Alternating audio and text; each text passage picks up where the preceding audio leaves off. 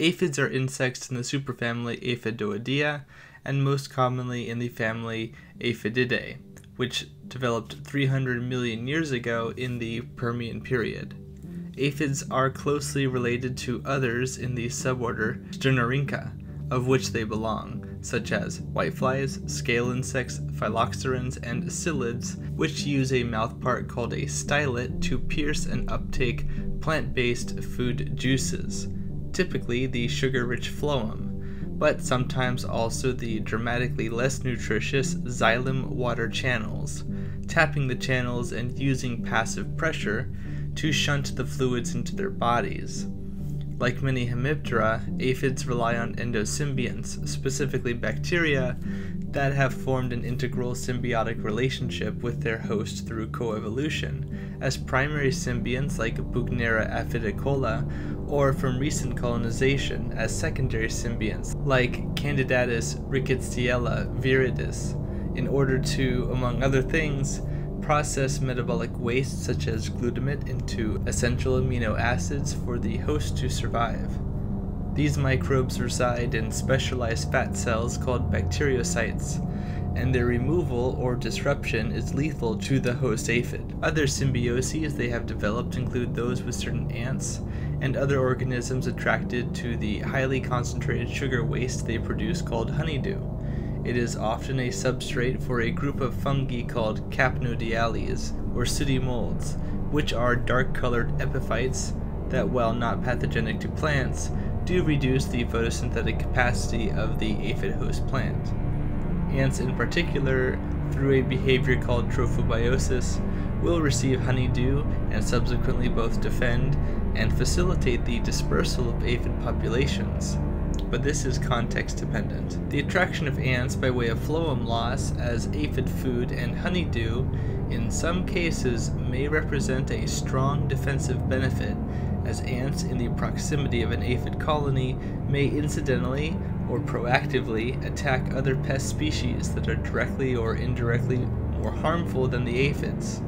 This three way food based symbiosis is referred to as a tritrophic interaction. Hypersymbionts, or symbionts of symbionts, can even bestow an array of defensive capabilities to the host, limiting the effects of population control by parasitoids and even plant host immune response, such as with the pea aphid populations of Hamiltonella defensa, containing APSE, a Cyrthocyphum pisum secondary endosymbiont, or PAXS, pea aphid X type symbiont. Other microbes are also present in many aphid species. More than their close relatives, aphids are the most common vectors of plant viruses, and account for 50% of transmission therein. Primarily, this is due to the nature of how their mouthparts function in transmitting virions into plant cells without causing them to become non viable, and their physiological capacity for telescoping generations often born pregnant and already inoculated with the viruses that can be vertically transmitted, or picking them up through feeding. Aphids can even vector some viruses to plants on which they are not hosts, simply through testing the leaf with their stylet through investigative probing. At least 200 species of aphids vector viruses, but this is thought to be an underestimation. There are many aphids both specialized on one or a few related plant species and generalized to a wide array of closely and distantly related plants. About 10% of aphid species have alternate seasonal hosts they rely on to switch between, making them holocyclic. The other 90% are anholocyclic. There are approximately 5,000 species of aphids documented, and they exist on plants the world over, with many polymorphous species that can make identification difficult, in addition to variable color forms and not apparently dissimilar populations that may be resistant to certain chemical or biological agents. For this reason, species identification can be challenging in the field, but also cannot convey other cues such as genetic and microbial resistance to treatment.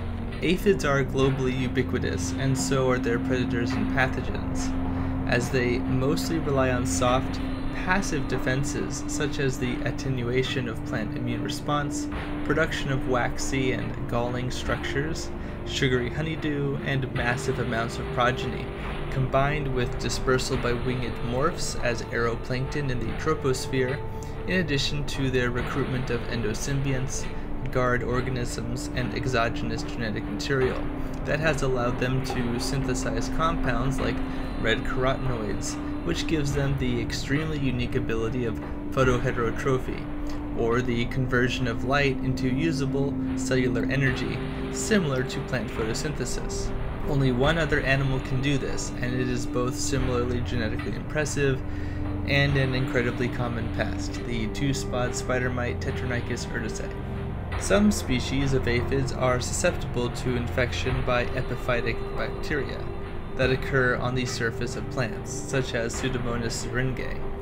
Some species, like the pea aphid Acyrthosiphon pisum, utilize visual cues from the ultraviolet fluorescence of the compound pyoverdine, and it appears that pea aphids have adapted to avoid fluorescent leaves between 350 and 550 nanometers according to one study.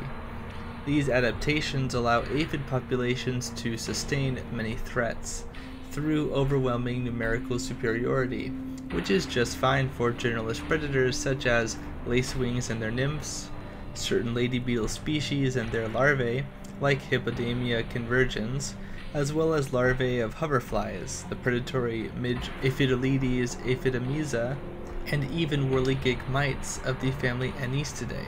There are many wasp families associated with aphid parasitation, like Aphidiidae, Aphelinidae, and Braconidae. One notable generalist being Diaeretiella rapae, and somewhat more species specialized parasitic wasps, like those in the genera Lysiphlebus, Aphelinus, and Aphidius. Also, there are various microbial pathogens like the fungal pathogen Beauveria bassiana, and other pathogens that may not be available commercially, such as Rhopalosiphum padi virus, but yet still affect the greater local and remote populations ecologically.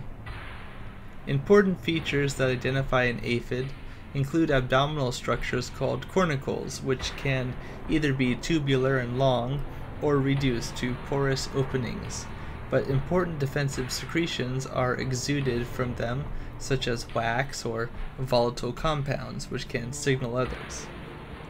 They're also very commonly bulbous and congregate closely together. Being polymorphic, aphids can be many colors and shapes among the same species or between species, but commonly there are adult morphs that are winged called alates and the unwinged or apterae. A female that develops from eggs and founds a colony is a fundatrix, and fundatrices usually produce parthenogenetic clonal progeny, which are known as fundatrigeniae, telescoping generations that are born pregnant. Alate fundatrigeniae may move from the host on which they were born to secondary hosts seasonally. Those females that go on to produce sexually reproducing progeny are called gynoparae, and their egg producing females are oviparae. Oviparae produce eggs which usually overwinter and result in new fundatrices in the spring. In this way, an autumn population overwinters and transitions to its spring and summer hosts if it has any. Aphids can be found in both the phyllosphere and the rhizosphere, and a single species may occupy both spaces simultaneously, such as with the rice root aphid Rhopalosiphum rufi While the shape of these morphs is fundamentally outlined genetically, there are phenomorphs, or forms, of some species which can additionally obscure identification. These phenomorphs are specialized body forms that have been documented as having specific capabilities, like optimization for defense, population growth, host adaptation, and symbiosis. A contentious example used to be the pea aphid's red green color dichotomy. We now know that symbiosis with Candidatus rickettsiella viridis bacteria confers both a green coloration due to increased blue-green polycyclic quinone production and antifungal properties. Green populations of the pea aphid are less preferred by lady beetles in some reports, but more preferred by Aphidius ervi in choice tests. Uniquely, Candidatus rickettsiella viridis is the only symbiont in pea aphids that exists outside the bacteriocytes, existing in the hemolymph and ovaries, among other places. When the red-green coloration was thought to be caused by genotype, they were potentially considered phenomorphs. Some species of gall aphids, like those in the families Pemphiginae and Hormaphidinae, are even considered social and produce soldier and gall repair forms, that confer a fitness benefit to a colony population. Aphid terminology is complicated and prone to change because the factors that influence aphid morphology are varied, and conceptualizing them as words, with specificity helpful for scientific pursuits, is arduous.